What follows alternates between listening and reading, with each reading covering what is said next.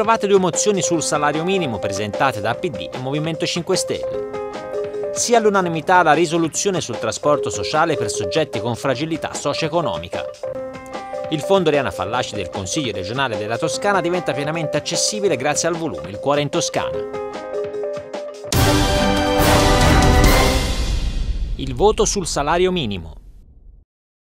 L'aula di Palazzo del Pegaso a fine lavori si è concentrata su un tema di grande attualità, quello del salario minimo, approvando due diverse mozioni con il voto favorevole del Partito Democratico e del Movimento 5 Stelle, una presentata da Irene Galletti e l'altra dal PD, prima firmataria Ilaria Bugetti. Come sottolineato dalla consigliera del Movimento 5 Stelle Galletti, l'idea di fondo della mozione è quella di garantire la dignità dei lavoratori attraverso il riconoscimento di un salario minimo orario. Secondo Galletti è una questione urgente perché siamo di fronte a un fenomeno per cui sta scomparendo il salario salario medio e si accentua la forbice tra i salari alti e quelli bassi. Da qui la richiesta alla Regione di adoperarsi presso il governo affinché vada avanti l'iter della proposta di legge per riconoscere il salario minimo orario, istituendo anche una commissione apposita che periodicamente proponga l'aggiornamento dell'entità del salario minimo orario. Questa mozione risale al 2022, da quando abbiamo iniziato a intraprendere questa battaglia per il salario minimo orario che oggi appare sempre di più come una battaglia di civiltà per tutti quei lavoratori poveri con delle soglie di reddito che arrivano a 3 euro all'ora e quindi con delle cifre che non permettono neanche di sopravvivere al rincaro delle bollette, degli alimenti, di tutto quello che è il costo della vita. E ci ha colpito veramente eh, vedere, eh, vedere le destre che eh, non hanno votato o hanno votato contro a quello che è davvero un, un, andare incontro alle tante famiglie che in questo momento non ce la fanno ad arrivare alla fine del mese. Si parla di 3,6 milioni di lavoratori in Italia, in Toscana molti di essi sono persone che lavorano nel mondo, nel settore del turismo, come è stato identificato da IRPET, ma ci sono anche tantissimi giovani, ci sono tantissime donne e spesso delle famiglie con un solo solo genitore, quindi questo riuscire ad approvare il salario minimo orario significherebbe per tutte queste persone una boccata d'ossigeno e soprattutto vedere riconosciuto il diritto costituzionale del primo articolo della Costituzione, del numero 36, che dice che lavoro essere, il lavoro deve essere retribuito con eh, un'adeguata quantità di denaro per l'impegno che la persona ci mette. Questa è il, una battaglia che eh, va a tutela della qualità della vita delle persone, non soltanto ma anche della dignità del tempo e della vita di tutte le persone. Ad illustrare la mozione del Partito Democratico la consigliera Laria Bugetti, che ha manifestato l'intenzione di votare anche l'altro atto dopo la presentazione di una serie di emendamenti. È un tema di grande dignità e qualità del lavoro delle persone, ha detto, ricordando il lavoro importante della Regione sugli appalti pubblici, primo esempio forte di salario minimo. La nostra partiva dalla richiesta al governo affinché eh, non venisse soppresso, perché c'è stato un emendamento a luglio scorso che in commissione parlamentare, commissione lavoro, chiedeva la soppressione dell'articolo 1, quindi di fatto quella sul salario minimo. E noi abbiamo fatto questa impegnativa alla Giunta affinché in conferenza Stato-Regioni e al Governo chiedesse di non sopprimere l'articolo 1. Per noi è una battaglia importante eh, perché già in Regione Toscana nel febbraio scorso abbiamo approvato una legge che riguarda gli appalti pubblici eh, della Regione Toscana ma anche degli enti collegati, quindi Estar, parchi regionali, che prevedesse il salario giusto ed attuale. Cosa vuol dire? Vuol dire che nelle aziende che partecipano ieși panou. Ai bandi della regione toscana ci fosse una una equa, eh, un equo reddito dei propri dipendenti. Quindi questo ci sembrava il primo passo, ancora oggi unica regione in Italia aver fatto questo passo, che era un'indicazione per le linee guida alla giunta regionale. Detto questo, il lavoro nostro si ferma per competenza a quel livello e abbiamo chiesto che al governo facessero un passo in più, eh, il PD in questo momento si sta mobilitando, non solo il PD ma con altre forze politiche e quindi ci sembrava giusto con quelle forze politiche che stanno condividendo questa battaglia di affiancare questo lavoro che stanno facendo in Parlamento. È un segnale di dignità anche perché la Germania ha innalzato la soglia del lavoro minimo a 12 euro, ma è previsto anche che venga innalzato parametrato a quello che è il paniere d'acquisto dei cittadini in un momento così difficile di inflazione. Quella è la base minima di partenza che non va a tancare poi i redditi, i lavori più alti che sono poi oggetto di altre contrattazioni collettive. Quindi questo riguarda riguarda i le persone in difficoltà e lo sfruttamento del lavoro, ma anche contratti pirata, quindi c'è tutto un tema grande che noi riteniamo dignitoso ed è una delle nostre battaglie principali. Francesco Torselli, annunciando il voto contrario alla mozione del Movimento 5 Stelle e il non voto su quella del Partito Democratico, ha definito il salario minimo uno dei temi di assoluta attualità e ha ricordato l'apertura del governo su una proposta di legge avanzata da alcuni partiti di opposizione. Il tema del salario minimo è un tema importantissimo, è un tema e io ringrazio veramente le opposizioni per aver fatto questo dibattito in aula, era impensabile che la Regione Toscana non affrontasse il dibattito su uno dei temi principali dell'agenda politica nazionale. Per quanto ci riguarda abbiamo deciso di non votare la mozione proposta dal Partito Democratico perché siamo in linea con quanto chiesto dalla Presidente del Consiglio Meloni. La Presidente del Consiglio Meloni ha detto in maniera chiara di non essere ideologicamente contraria al salario minimo, di condividere con chi è promotore della proposta per il salario minimo l'obiettivo finale del percorso, che deve essere quello di migliorare il potere di acquisto dei salari italiani, perché va superata l'epoca del salario a basso costo, da cui stiamo uscendo con grande difficoltà, anzi stavamo uscendo con grande difficoltà prima di imbattersi nel, nella crescita esponenziale dell'inflazione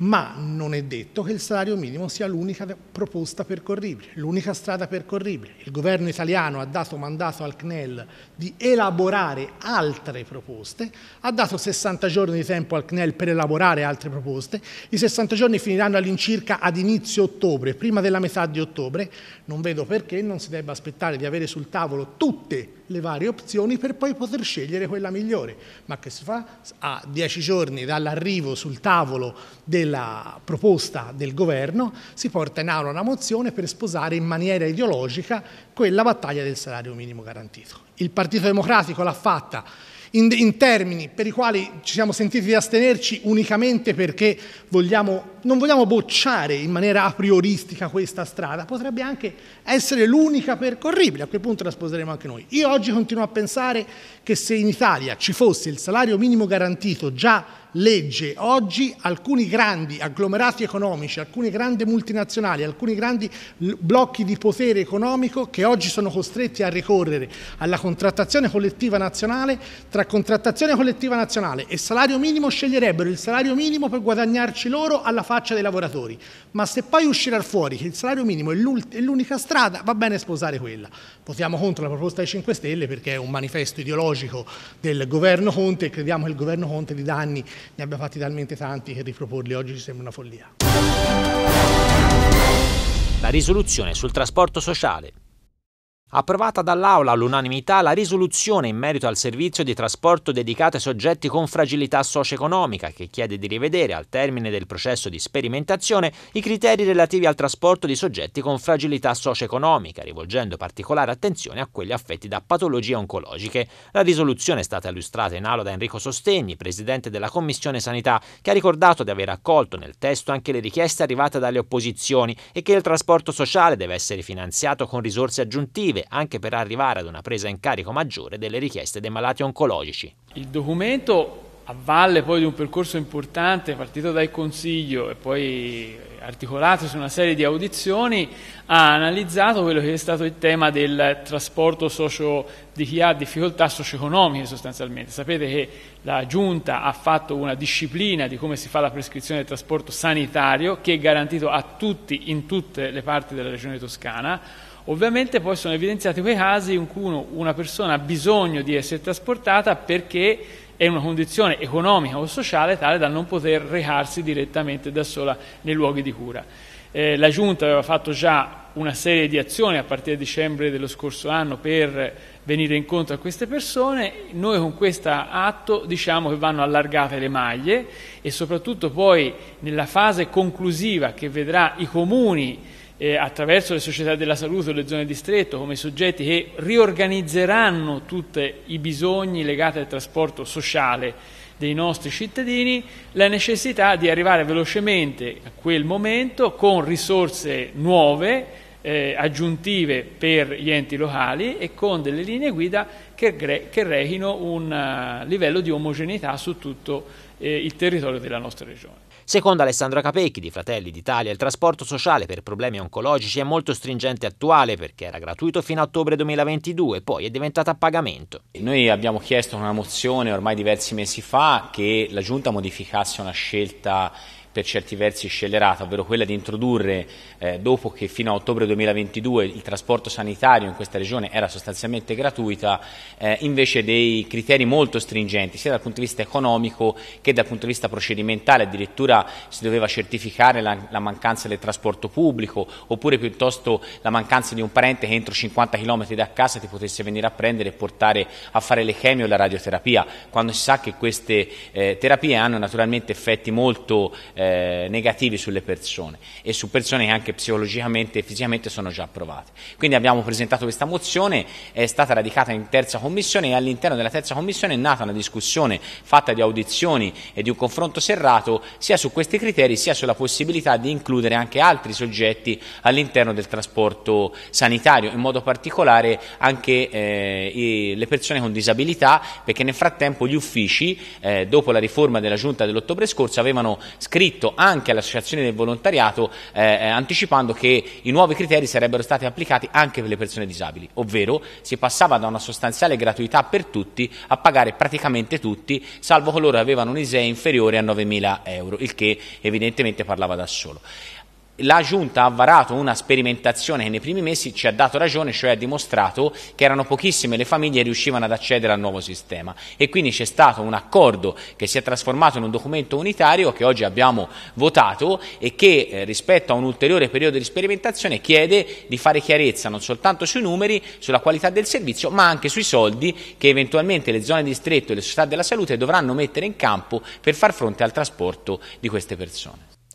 Sul tema è intervenuto anche il consigliere Ulmi. Direi che tutto sommato possiamo ritenerci soddisfatti perché sono stati accolti dei nostri emendamenti in commissione e quindi è stato fatto un lavoro collegiale. Questo lavoro è stato, eh, hanno partecipato tutti, tutti, i gruppi e quindi credo che eh, una unanimità sia la giusta la giusta conclusione. È diverso da, da dire quello che abbiamo, che abbiamo accettato e che è stato votato dalla soluzione del problema. Ora vedremo, ci saranno degli step di verifica di quanto è stato fatto e detto. Certo è che al di là del, del problema economico e quindi di andare incontro a coloro che in qualche modo hanno difficoltà economiche, il problema è gente che può avere difficoltà economiche ma soprattutto che sta male, cioè gli oncologici è ovvio che devono avere una priorità al di là di quella che è la loro eh, situazione economica e dovrebbero essere privilegiati e comunque eh, dovrebbero avere una, una via preferenziale. Il cuore in Toscana. Il fondo Riana Fallaci del Consiglio regionale della Toscana, archivio ricchissimo tra i tre più importanti al mondo, già disponibile al pubblico dal 2019, diventa da oggi pienamente accessibile grazie al volume Il cuore in Toscana, il fondo Riana Fallaci, inventario archivistico e catalogo bibliografico. Il libro a cura di Katia Ferri, Elena Michelagnoli e Monica Valentini, inventario archivistico di Margherita Cricchi e Agnese Lorenzini, è stato presentato nella Biblioteca della Toscana Pietro Leopoldo di Firenze. L'opera è frutto del lavoro durato quasi quattro anni che Archivio e Biblioteca del Consiglio hanno portato avanti insieme per inventariare, catalogare, descrivere e riordinare quasi 2000 documenti che costituiscono il fondo. Il testo, composto da numerosi indici, appendici e da una tavola sinottica, si propone come una guida, uno strumento fondamentale per rendere noto il contenuto del fondo e navigare all'interno di esso, accompagnando il pubblico nella scoperta di dimensioni meno note della personalità della giornalista e scrittrice fiorentina. Il fondo Oriana Fallaci è una ricchezza per eh, tutta la Toscana, è una ricchezza per tutti noi e allora consentitemi subito di ringraziare il nipote che ha permesso di mettere a disposizione i suoi scritti, anche quelli ancora non noti alle cittadine e ai cittadini della nostra regione. Le, permettetemi di ringraziare le curatrici, hanno fatto un lavoro enorme e io vorrei rilanciarlo questo lavoro, vorrei provare a fare in modo che questi scritti potessero essere tutti digitalizzati per permettere ai cittadini del mondo di poter accedere a un archivio che è unico, un archivio dal valore inestimabile, un archivio in cui si raccontano pezzi di vita, di pensiero di Oriana Fallaci. C'è un messaggio forte che passa, l'importanza di essere donne e uomini liberi e il valore della libertà, il valore della memoria ha bisogno di essere coltivato e allora noi vogliamo coltivarlo in questo senso, aprendo le porte di questa biblioteca, eh, di questi spazi, del nostro archivio in tutto il mondo. Oggi è una giornata bella, importante e un primo passo, un passo che vogliamo continuare a portare avanti per fare in modo che quella memoria possa essere presente. Una giornata storica l'ha definita Edoardo Perazzi, nipote erede universale di Oriana Fallaci e curatore del suo lascito. Sentiamo molto questa giornata perché l'archivio rappresenta un passo fondamentale eh, per la proprio per mettere a disposizione il lavoro di Oriana e anche in certo senso parte della sua vita, perché gli oggetti contenuti nel fondo, i suoi scritti personali, le lettere sono evocativi e servono molto a capire come questa donna non solo lavorava ma anche come ragionava e come era fatta, quanto era legata alla sua famiglia e a questa città naturalmente. E poi finalmente è un, è un modo di lavorare snello e a disposizione di tutti. Con questa pubblicazione ha affermato Monica Valentini, curatrice del volume e responsabile dell'archivio storico del Consiglio regionale della Toscana, è possibile per chiunque, studiosi ma anche curiosi, appassionati, amanti della scrittura di Oriana Fallaci, vedere che cosa possediamo e fare richiesta per consultare il materiale. Siamo finalmente arrivati alla pubblicazione del volume, anche se il lavoro di riordino e di catalogazione della biblioteca era già stato completato, avevamo già reso accessibili questi materiali a chi ce l'aveva fatto eh, richiesta, però a questo punto con questa pubblicazione, che tra l'altro è anche in formato digitale sul nostro sito, è possibile per chiunque, quindi non solo studiosi ma anche curiosi, appassionati, eh, amanti della scrittura di Oriana Fallaci, vedere che cosa possediamo e fare eventualmente richiesta per consultare questo materiale. Trovate tutte le indicazioni sui nostri siti, ci sono due pagine dedicate, una della biblioteca e una del Consiglio e c'è un indirizzo mail comune al quale fare riferimento per qualsiasi informazione, anche per ricerche che noi possiamo fare a distanza. L'indirizzo è fondofallaci chiocciola consiglio.regione.toscana.it.